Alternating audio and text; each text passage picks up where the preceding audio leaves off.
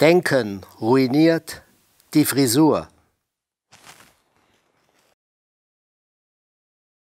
Also Alex Silber als Transformer. Ich hoffe, es wird äh, vermittelt, dass die Aktivitäten, wo man im kreativen Prozess macht, immer auch äh, persönliche Entwicklung bedeutet.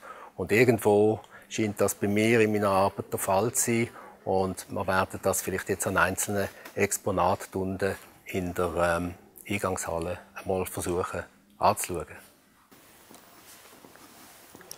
Hier sehen wir ein performatives Stück, ein narratives Setting.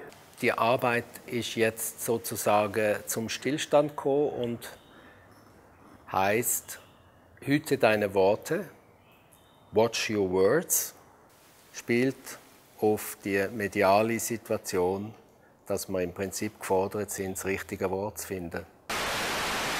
Yellow Camp farbige gelbe Zelt unter einer Glocke.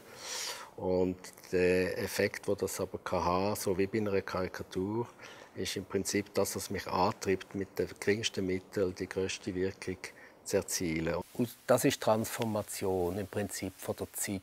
Es ist eine Zeitreise und äh, was man damals angeschaut hat, ist heute, erscheint heute in einem anderen Licht.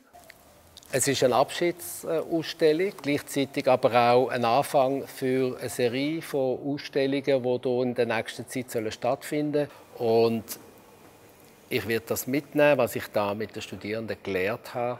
Ich habe sehr viel gelernt, ich bin da sehr dankbar auch. Ich finde überhaupt, Transformation ist im Prinzip das Prinzip vom Lernen.